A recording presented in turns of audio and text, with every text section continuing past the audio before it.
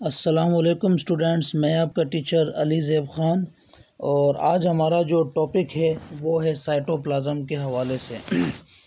तो जैसे कि लेट सपोज़ कि ये एक सेल है हमारे पास तो जैसे कि आप जानते हैं कि ये हमारे पास एक सेल मेम्ब्रेन है, ये न्यूक्लियस है और ये जो बीच में यहाँ से लेकर यहाँ तक जो हिस्सा है हमारे पास, इसको हम कहते हैं साइटोप्लाज्म यानी न्यूक्लियर मेम्ब्रेन से लेकर सेल मेम्ब्रेन तक जो रीजन है, इसको हम कहते हैं साइटोप्लाज्म, अगर प्रोकैरियोट सेल की बात की जाए। और अगर ये यूकैरियोटिक सेल होता है तो ज़ाहिर सी बात है, जैसा कि आप जानते हैं कि यूकैरियोटिक सेल में न्यूक्लियस तो होता नहीं है तो इसीलिए न्यूक्लियर मेम्ब्रेन, यानी सॉरी, सेल मेम्ब्रेन के अंदर जितनी भी जगह होती है, उसको हम कहेंगे साइटोप्लाज्म। तो बेसिकली इंट्रोडक्शन हमारे पास क्या होता है? सबसे पहले साइटोप्लाज्म को डिस्कवर किसने किया? रोडोल्फ वॉन किलर नाम के एक साइंटिस्ट थे, जिन्होंने सिक्सटीन एटीन सिक्सटी एट में इसको डिस्कवर किया था। और उन्होंने इसी तरीके से बताया कि न्यूक्लियर मेम्ब्रेन और सेल मेम्ब्रेन के दरमियान जो स्ट्रक्चर होता है, उसको हम कहते हैं साइटोप्लाज्म। ठीक है स्टूडेंट्स बाद में जब मज़ीद तहकीक की गई तो पता चला कि साइटोप्लाज्म के दो कंपोनेंट्स होते हैं। एक होता है साइटोजेल और एक होता है साइटोसोल तो देखिए आइए देखते हैं साइटोजेल क्या होता है। इस डायग्राम की हेल्प से ज़रा देखते हैं। देखें, ये आपके पास है सेल मेम्ब्रेन और ये जो आपको रीजन नज़र आ रहा है, ये वाला, जो कि थोड़ा सा कम ग्रीन है, यानी लाइट ग्रीन है, इसको हम कहते हैं साइटोजेल बेसिकली ये जो साइटोजेल होता है, ये हमारे पास गाढ़ा किस्म का एक लिक्विड होता है जेल टाइप इसीलिए इसको जेल कहा जाता है। जैसे जेली होती है, इसका पास, के पास ये कोई जेल जो आप बालों में लगाते हैं, ये उस टाइप का एक स्ट्रक्चर होता है, जिसके अंदर कई तरह के पोलीमर्स और कई तरह के मोलिक्यूल्स होते हैं। उसके बाद ये आपके पास यहाँ से लेकर यहाँ तक ये जो रीजन आ रहा है, ठीक है, ये पूरा का पूरा, ये जो ज़्यादा ग्रीन लग रहा है आपको थोड़ा सा तो इसको हम कहते हैं साइटोसोल साइटोसोल जो होता है, ये सेल साइटोप्लाज्म का वो कंपोनेंट है जो तकरीबन सेवेंटी परसेंट साइटोप्लाज्म इसी के अंदर होता है। इसमें आपके पास जो होते हैं वो आपको मिल जाएँगे। अच्छा साइडोसोल के फिर हमारे पास दो पोर्शन होते हैं। एक वो पोर्शन होता है जो कि बिल्कुल लिक्विड पोर्शन होता है, और एक वो पोर्शन जो थोड़ा सा सॉलिड और टफ किस्म का पोर्शन होता है। लिक्विड पोर्शन को हम देखें तो seventy two ninety percent cytosol में हमें क्या नज़र आएगा? वाटर नज़र आएगा, और बाकी इसके अलावा हमें वहाँ पर सॉल्ट्स मिलते हैं, शुगर मिलेंगे, अमाइनो एसिड्स मिलेंगे, फैटी एसिड्स, न्यूक्लियोटाइड्स, अमाइ वाइटामिन हॉर्मोन्स, इनऑर्गेनिक आइंस वगैरह, ये हमें साइटोसोल का जो लिक्विड वाला हिस्सा है, उसके अंदर मिलेंगे।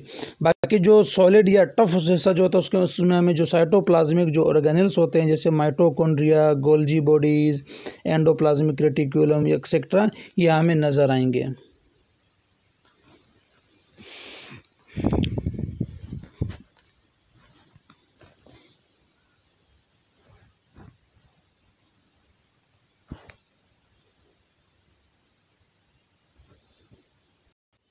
तो ये क्या है? ये कंपोजिशन या कंटेंट ऑफ़ साइटोसोल है। साइटोजेल के बारे में मुझे बहुत ज़्यादा डिटेल कहीं पे किसी किताब में या नेट से नहीं मिली है तो इसीलिए मैंने उसको यहाँ पर ज़्यादा डिस्कस नहीं की ठीक है स्टूडेंट्स मैं एक और डायग्राम की मदद से आपको मज़ीद ज़रा समझाने की कोशिश करता हूँ साइटोप्लाज्म देखिए, ये एक सेल है, ठीक है?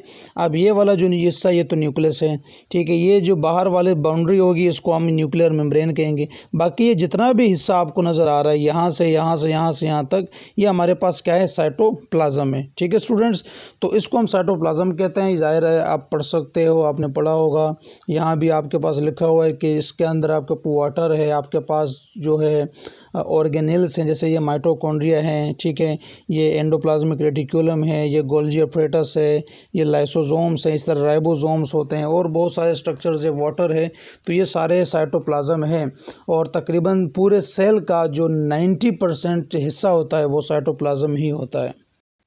अच्छा अब इसके बाद फ़ंक्शन क्या होता है साइटोप्लाज्म का? ठीक है? यानी सेल के अंदर जो साइटोप्लाज्म होता है, उसका बेसिकली क्या फ़ंक्शन होता है कि साइटोप्लाज्म सबसे इंपॉर्टेंट स्ट्रक्चर है आफ्टर न्यूक्लियस कैसे?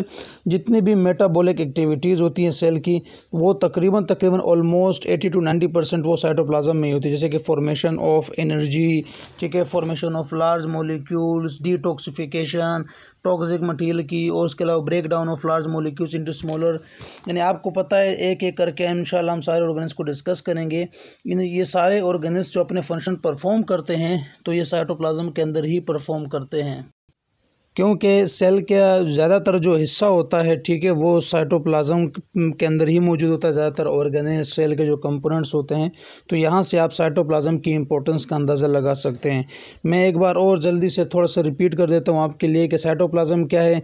सेल का वो हिस्सा जो न्यूक्लियर मेम्ब्रेन से लेकर जो प्लाज्मा सेलुलर सेल मेम्ब्रेन तक जो हिस्सा है, उसको हम साइटोप्लाज्म कहते हैं। ठीक है स्टूडेंट्स और साइटोप्लाज्म एक बहुत इंपॉर्टेंट पार्ट है। दो हिस्से होते हैं इसके साइटोजेल होता है और साइटोसोल होता है। वो इस डायग्राम से आप समझ सकते हैं। साइटोजेल जो है वो थोड़ा सा ज़्यादा गाढ़ा किस्म का है, जबकि साइटोसोल जो है वो थोड़ा सा लिक्विड है। साइटोजेल जेल टाइप होता है और साइटोसोल सोल्यूशन की तरह होता है, इसीलिए इसको साइटोसोल कहा जाता है। ठीक है स्टूडेंट्स और याद रखना कि यहाँ जो न्यूक्लियस है, वो साइटोप्लाज्म का हिस्सा नहीं है। आई होप कि आपको ये लेक्चर समझ आया होगा। और अगर आपको कोई क्वेरी होती है, कोई सवाल होता है तो आप कमेंट में पूछ सकते हैं। जब तक के लिए अल्लाह हाफ़